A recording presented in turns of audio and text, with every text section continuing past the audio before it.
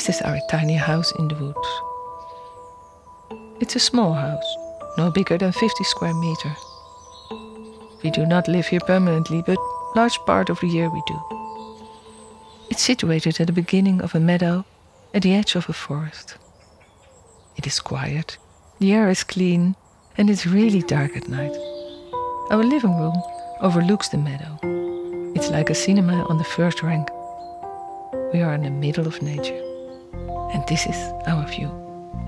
You will see it often in this movie. At first glance, you might say, oh, green desert, some conifers at the horizon. But only if you look long enough, many things happen.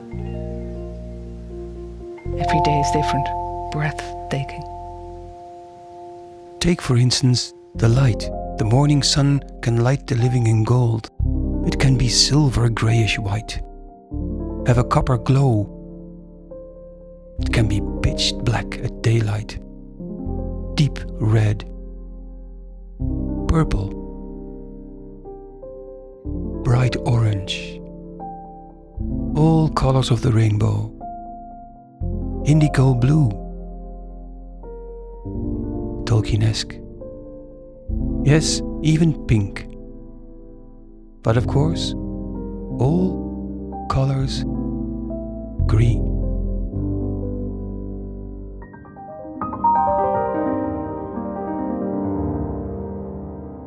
Have named it Villa View. We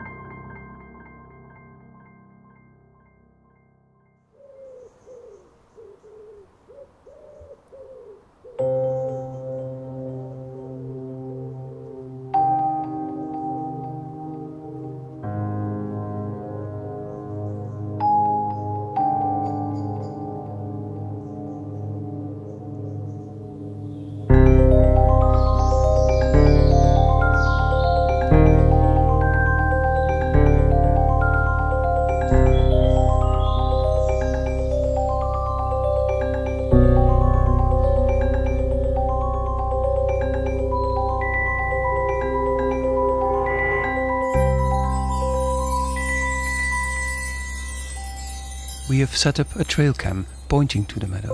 On a hot late summer day in September, you can see the plants sighing along with the rotation of the sun.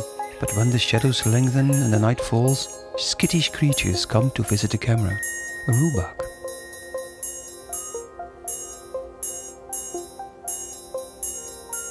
Mother fox with her young.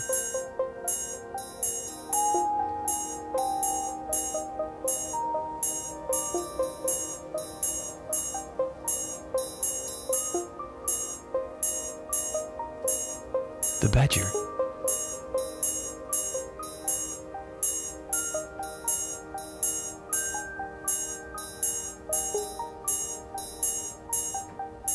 The stray cat.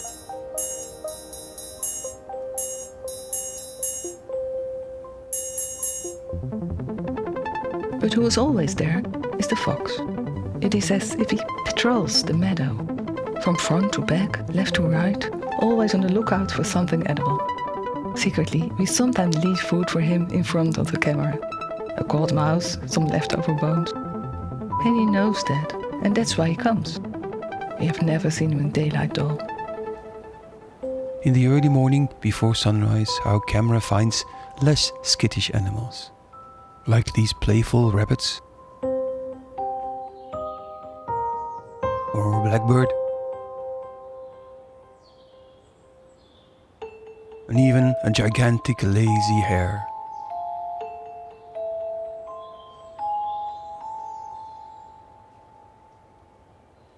A thrilled rhubarb.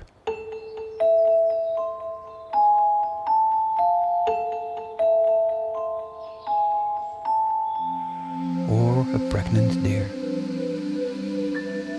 And sometimes, in the early spring, you can see the female deers across the meadow. They have just had their baby and they're hungry, so they drop their guard just a bit. Although we think this deer has lost her baby, because the farmer mowed the grass where it was hiding. For days, she kept on looking and calling.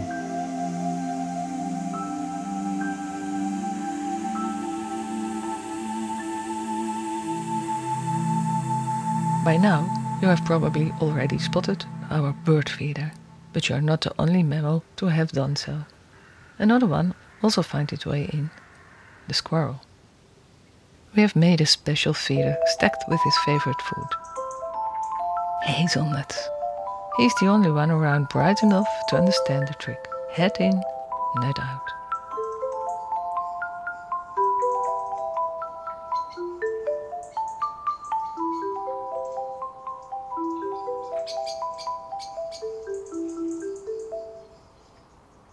Goldteeth tries it, but he doesn't get it. Permanent residents of the meadow are the Charolais cows. Twelve months per year, they graze on the grassland. The owner leaves them alone, letting them do their cow things year round. We often think, if you are a cow, then here would be a good spot. Curious animals they are. When they are so close, you can smell their grassy breath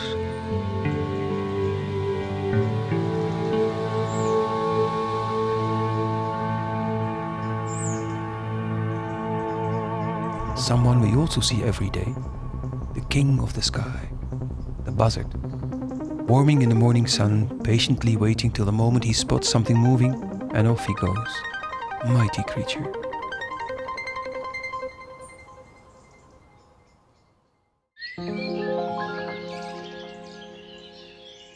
Regular visitors blackbirds, robins, finches, and tits. Like a snack bar, our bird feeder is busy from early morning until late at night.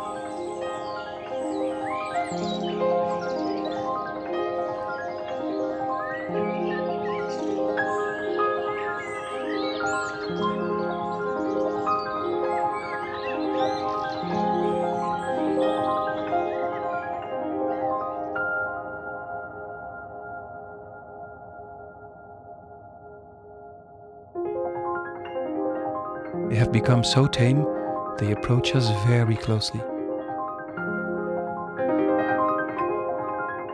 They even join for lunch. Less frequent visitors are the little spotted woodpecker, the black woodpecker who we only hear shrieking in the woods, and sometimes a blue heron. And since a couple of years, we also have a new king, the raven. In the highest treetop on the other side of the meadow, you can clearly hear him call Croak, croak, croak.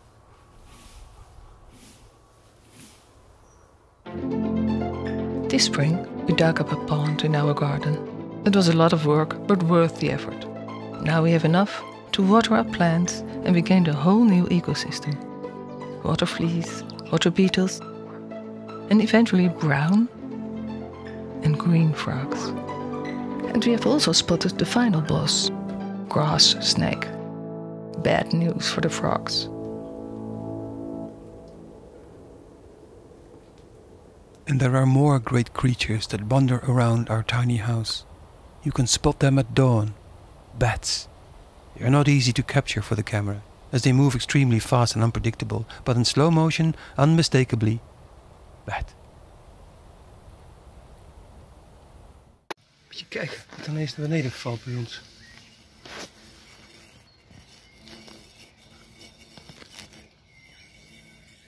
Twee echt hele grote hoornaars. En het vechten met z'n tweeën, dus waarschijnlijk twee koninginnen. Ze hebben niet eens in de gaten dat ze gevangen zijn. Zo agressief zijn ze tegen elkaar. Nou, ik denk dat ik ze gewoon laat zitten, joh.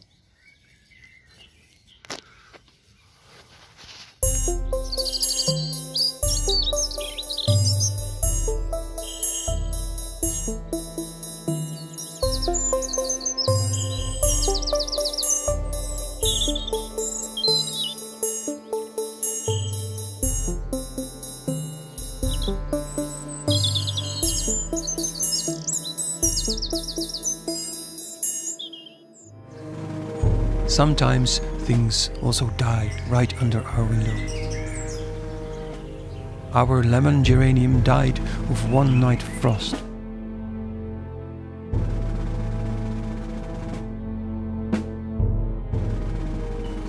Our tomatoes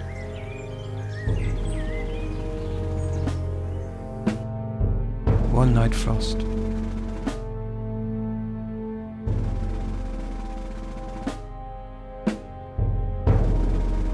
Old squirrel, probably run over by a car. An unfortunate deer, badly shot by poachers, died at night right under our window.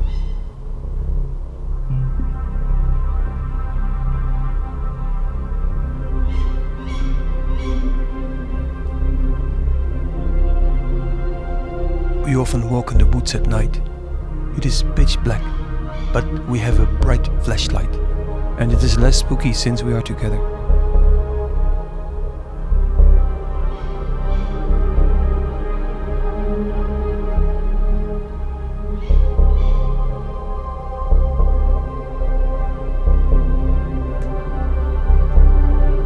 Luckily, our tiny house is never far away. And thus we have spent our days here, in the woods, with a small kitchen garden and a panoramic view of the beautiful serene natural environment. But we are going on a new adventure, an adventure of a lifetime. We are going to leave this house, step into our camper van and search for a new and warmer place to spend our days. Stay tuned. Soon on our channel. Thanks for watching.